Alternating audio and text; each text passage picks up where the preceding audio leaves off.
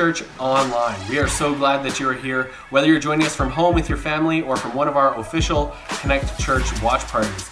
Thank you guys so much for being here. As part of this week's special edition service, we asked you to submit your hot takes and opinions on some mildly controversial subjects. Let's see what you guys had to say. Hey, people who take baths. You realize you're just soaking in your own filth, right? If you gotta take a bath, you better be showering first. Hey guys, Ryan here. I know this isn't going to be popular and I'm going to be isolating half the crowd, but I got to say, Apple iPhone users, you got to take it down a notch. Get off that high horse, leave the ego at the door, and please stop living in the past. Apple innovation died with Steve Jobs nine years ago. Android much, much better. Why would you pay more money for an inferior product? Makes no sense. I know at least one person that isn't going to like this. The iPhone is better than Android, and Mac is better than PC. Guess what my hot take is? The friendliest people live in the Maritimes. Sorry, Albertans, but I guess half of you are from the Maritimes. So I think that counts too. So my hot take is that tea will always be better than coffee, except when it's iced. Because iced coffee is better than iced tea any day. I have two pieces of truth. Lemon belongs in cleaning products, and mint belongs in toothpaste. These two ingredients do not ever belong in a dessert. Here's what I don't understand. Why does everybody like avocado? Gross. You want my hot take? Well, artichokes are the worst thing in the world. Can't convince me otherwise. Salads are meant to be naked. Alright, here's my hot take. Many people that jump onto the vegan diet don't actually care about the animals. They're just jumping on because they want to lose weight and eat a lot less calories while on the diet. Conflict and controversy are inevitable. They're going to happen. You're going to disagree with other people. But it's not always about which toppings do or don't belong on a pizza or which sports team is better than another. Sometimes it's the really big, difficult subjects that can divide us the most, whether it be in our friendships, in our marriage, or in our relationship with our coworkers. So, what do we do when two parties don't see eye to eye? When both sides think that they're right and neither is willing to give up any ground? That's what Pastor Dan is going to be talking about in this week's special message called Taking Sides.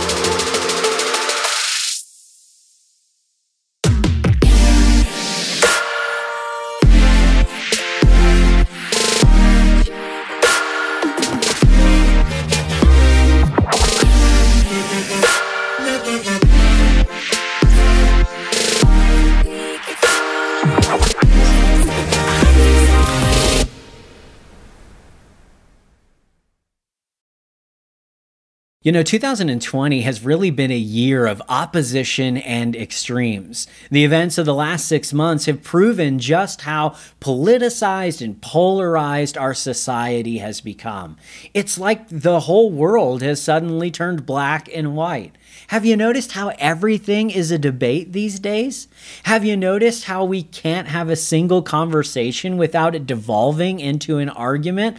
I'm on this side, you're on that side. I'm clearly in the right, and you are clearly in the wrong.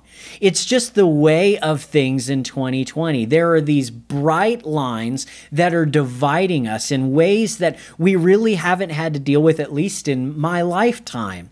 One of the things that I think is most interesting and also most frustrating about this situation is that on every side of every issue, there are people of faith. And these people of faith are claiming that their position is God's position, that God agrees with with everything they are saying and doing in this debate. You know, we probably would never use these exact words, but it's almost like subconsciously we believe that God and I agree on most things.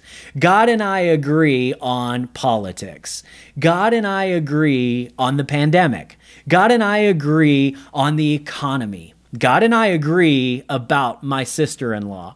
God and I agree about the environment. God and I are on the same page when it comes to church and sex.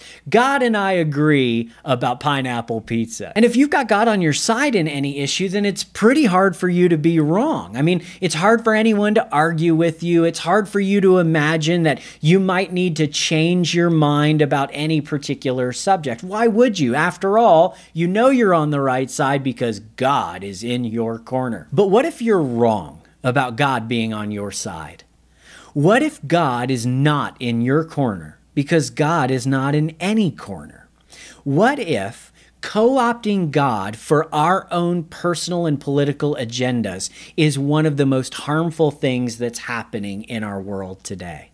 Well, we don't have to ask what if, because God actually tells us exactly how he feels when people claim that he is on their side when he really isn't. He tells us exactly how he feels in the book of Joshua, chapter number 5. And the words that God speaks here in this passage, they serve as a warning for those of us who are followers of Jesus. But I also believe they serve as a roadmap to teach us how to live in lives of humility and peace in the middle of very tense and chaotic seasons. So this morning I want to read for you just three short verses from Joshua chapter number 5. We'll start with verse number 13. The scripture says, While Joshua was near the city of Jericho, he looked up and saw right in front of him a man standing holding his drawn sword. Joshua stepped up to him and he demanded, Whose side are you on? Ours or our enemies. Now, Joshua was the leader of the Israelite nation. He had been Moses' protege for many years, but after 40 years of wandering through the Sinai desert, Moses dies and Joshua is promoted. The first task that he's given is to take the promised people into the promised land but there is a big hurdle standing in their way. In order to occupy the promised land, they're going to have to conquer Jericho, the most fortified city in the ancient world. Archaeologists have actually excavated this city, and what they tell us is that Jericho was surrounded by stone walls that were four and a half feet thick. So imagine you're Joshua. You're the leader of a, a large group of homeless former slaves, and you are tasked with conquering the most defensed city in the entire world. I mean, it must have been nearly overwhelming for Joshua. So one day he's standing on a hillside looking at the city of Jericho. He's trying to figure out what it's going to take to win a battle against them. And then suddenly there appears standing in front of him a strange man. And Joshua asks this strange man a question that betrays some very dangerous assumptions that Joshua is carrying around. He reveals some false beliefs that are hovering just below the surface, and they're going to play themselves out in the way that Joshua handles this Jericho situation. And listen to me when I say that the things that Joshua apparently believes to be true are going to sound very, very familiar to any of you who have been paying attention to the discourse in 2020. So, this poisonous mindset is revealed when he asks the question Whose side are you on? Ours or our enemies. So, this first assumption that Joshua seems to be carrying around is that people are my enemy. From the top of the conversation, Joshua is already labeling these other people as his enemies. Now, this might make sense because the Israelites and the Canaanites who lived in Jericho, they were at war with one another. And so, enemy seems like the appropriate word. But you know, what I'm afraid of is that in the modern world, we're treating people like enemies when really don't have to. That we are dividing the world into black and white, friend and foe. Everyone is either for us or against us, and it's really not necessary. I wonder how often we demonize people simply because they disagree with us. I wonder how often we view life like it is this zero sum game in which, in order for us to win, they have to lose. What I've noticed is that we have started to use language that dehumanizes and distances us from other people. When we start to view one another as enemies, we are setting the stage for situations to grow worse and worse over time. And you've seen this happening recently. Protesters are screaming in their enemies' faces. Racial epithets are heard openly in our stores and our streets. Violence is erupting around the world. People are more suspicious and they are more distrustful of one another than they've been in the last hundred years. I read a story recently in which uh, they did a survey, and in 1960, only 6% of people said they would be seriously concerned if their child married somebody from an opposite political party. Only 6% of Democrats said, I would be really worried if my son married a Republican. But by 2018, that number had skyrocketed from 6% to 60%. 60% of liberals say, I would be really concerned if my daughter married a conservative. How is this happening? How are we becoming so divided? Well, I think much of it comes down to this single false belief that people are my enemies. People are not my enemies. When you view people as your enemy, eventually the only option you're left with is to go to war against them. But you know, Ephesians chapter number 6, verse 12 is a very important verse for us to keep in mind. The scripture says in this passage, Be strong in the Lord and in his mighty power. Put on all of God's armor so that you will be able to stand firm against all the strategies of the devil. For we are not fighting against flesh and blood enemies, but against evil rulers and authorities in the unseen world, against mighty powers in this dark world, and against evil spirits in the heavenly places. Therefore, Put on every piece of God's armor so that you will be able to resist the enemy in the day of evil. You know, according to this passage, we do have an enemy, but our enemy does not belong to the conservative or the liberal party. Our enemy does not live on our street. Our enemy does not have a skin color. Our enemy does not have a Facebook account. Our enemy is not the person who blasts music at 1 a.m. Our enemy is not a person because our enemy is spiritual.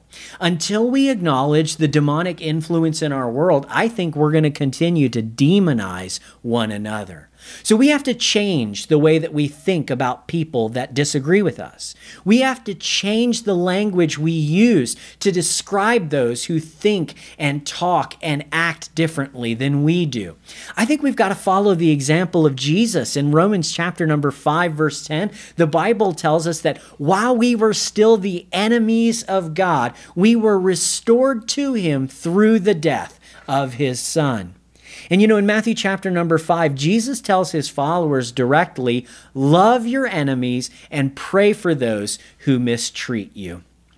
As people of faith, we cannot fall into the false belief that people are my enemies. If we get into a disagreement with somebody in person or online, we have to remind ourselves this person is not my enemy, and I will not treat them as if they are people are not my enemy. Now, the second assumption that Joshua makes here is that there are only two options on any issue there's my side, and then there's the wrong side. Did you notice how he immediately tried to force the stranger to take sides? He wanted to know are you with us or are you against us? He wanted to know if the guy was on the right side or the wrong side. And come on, you know that we are guilty of doing this exact same thing. We want to paint everything as black and white, right and wrong, clear without any room for nuance or varied perspectives, no more than two options in any given situation and scenario. We can't acknowledge, we just cannot allow ourselves to acknowledge that our enemies might have some sort of valid concern. But you know, the response of this man in Joshua chapter number five really proves that that is a false assumption. There were not only two sides in the battle at Jericho, and there are not only two sides in basically any issue that we might discuss in 2020. Look at how this guy responds in verse number 14. So Joshua has stumbled on this strange man. He's immediately put him to the test and said, Whose side are you on, ours or our enemies?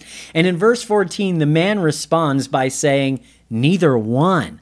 I'm commander of God's army, and it's in this capacity that I have arrived. When Joshua asks him the question, Whose side are you on? the English Bible has the man responding by saying, Neither one. But the Hebrew actually has this man, who apparently is an angel, simply say, No. Joshua says, Whose side are you on? Are you on our side or our enemy's side? Are you on the right side or are you on the wrong side? And the angel says, No. I love that. It's like he dismisses Joshua's question right out of hand because it is absurd and it's arrogant, and instead, he's going to point Joshua towards the truth. This is the truth that we need to remember God is not on anyone's side. God is on God's side. So, the question when we're disagreeing, when we're trying to figure out where we stand on a particular issue, the question is not, is God on my side? The question is, am I on God's side? Whose agenda am I advancing here? Whose plans am I carrying out? While we're busy trying to claim that God is on our side and therefore our side must be the right side, God is up in heaven looking down, simply saying, Nope, that's not how this works, you guys. You don't get to claim me. You don't get to co opt me. You don't get to end all debate and discussion because you say you know what I think and believe on a particular subject. Listen, there may be times in which our goals line up with God's goals, but we shouldn't assume that that is typically the case. And we should not assume that even if God and I are agreement on this issue, then we must be in agreement on all of these other issues as well. Just because God agrees with one part of your political party, that doesn't mean that God agrees with the entire agenda of your party. Just because God would agree with you about one part of your theology does not mean that God commends all of your theology. We cannot assume that just because we agree with God here, we definitely would agree with God there. In fact, I think this story it forces us to to acknowledge that my preferences may not always line up with God's plans.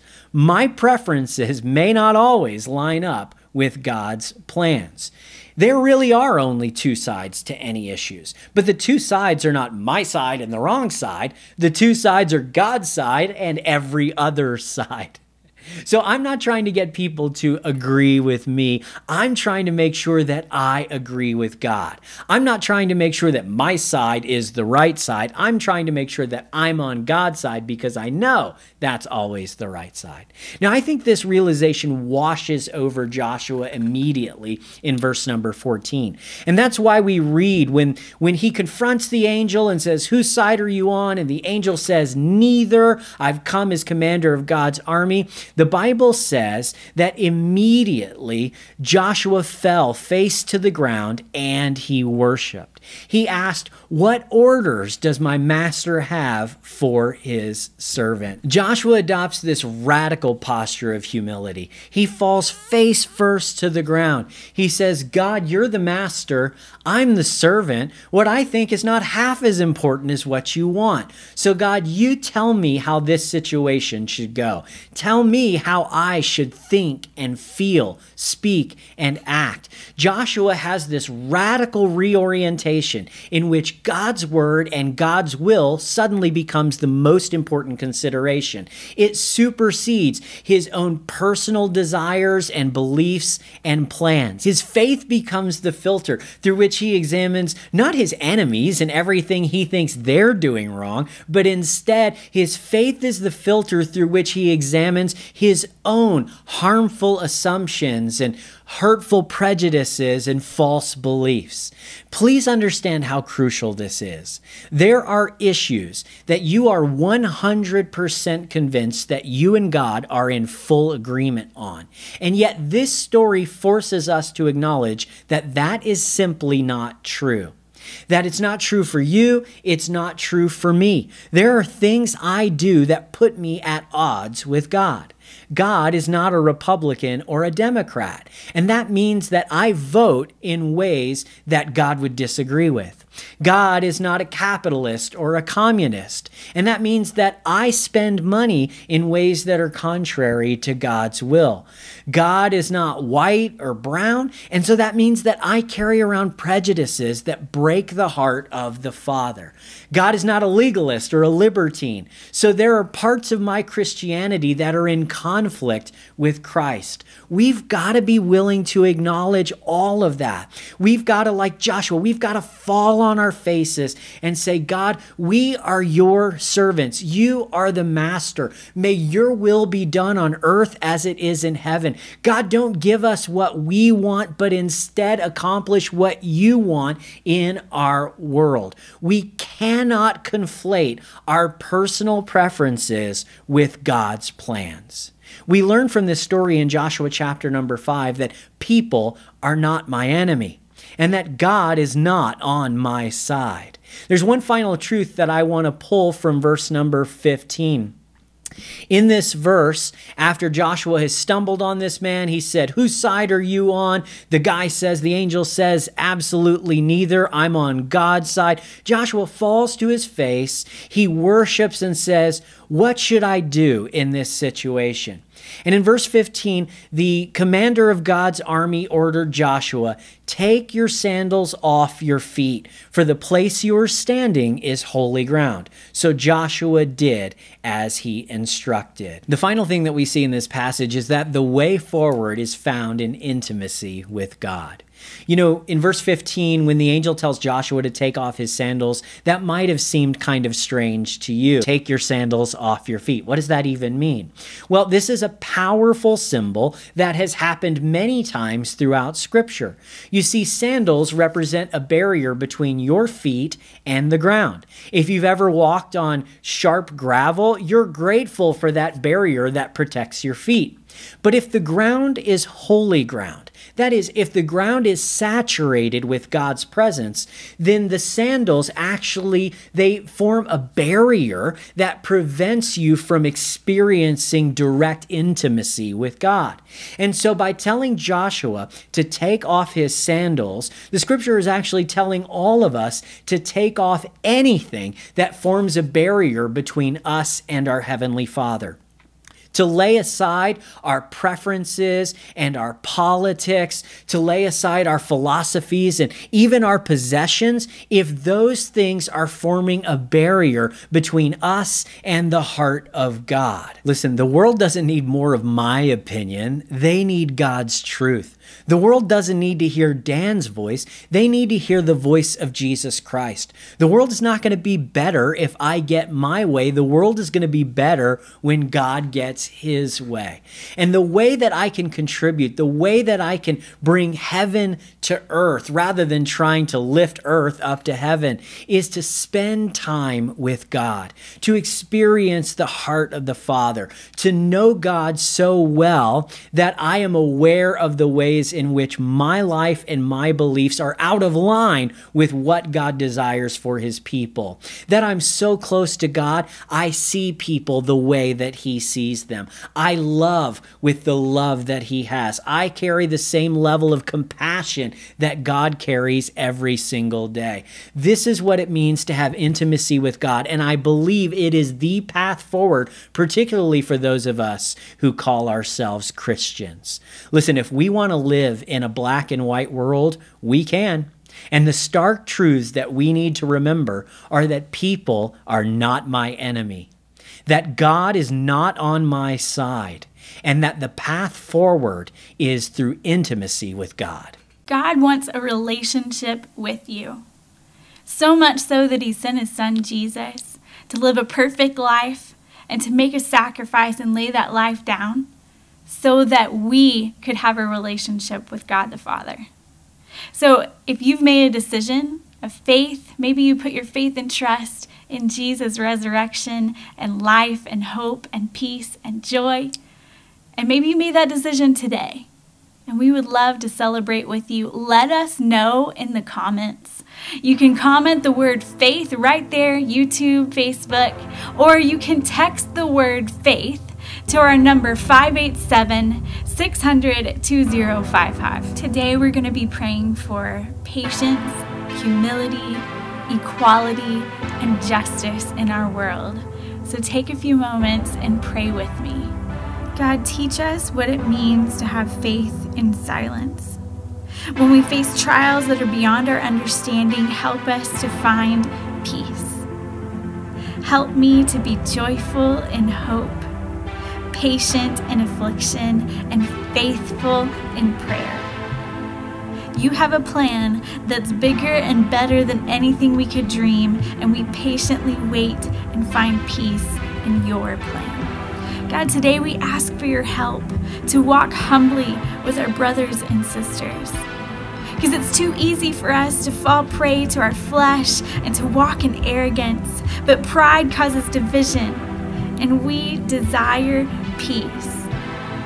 Help us to humble ourselves so that we don't let the lies of the enemy take us over. Help us to count ourselves as equals to one another. Help us to value one another in this humble spirit so that we can live life to the fullest. God, you created people in your image. We thank you for this amazing variety of races and cultures in this world. Show us your presence with those who differ from us. God, we pray for the poorest and most vulnerable. Let us not just speak of justice, but lead us to act in just ways. May the oppressed and needy feel justice and equality and experience a world without hunger and poverty. God, grant that violence be overcome by the power of love, that oppression give way to reconciliation, and that the desire to oppress be transformed into the desire for forgiveness justice, and peace. We praise you and thank you. Even if we can't agree about what should go on top of a pizza, I think we can all agree that pizza is pretty awesome. And last week we were able to give away 120 pizzas. This simple gift went a long way in saying thank you to teachers and school employees who haven't heard that in a while, or welcome to residents of a nearby apartment building in need of community and connection and in saying you are seen and you are loved to those relying on a shelter within our city. It's your generosity that makes events like this possible. If you want to partner with us and make a difference within our community, you can do so by going to connectcalgary.ca slash give. Parents, do you sometimes feel like you're taking sides with your kids? Could you use a little relief? Well, I've got just the thing. Go to connectcalgary.ca, click on kids, where you'll find video lessons that will not only build their faith, but give you a little break. That's it for me. I hope you have an amazing day and that we see you next week for a brand new series called Sermon on the Mount. Don't forget to live life overflowing.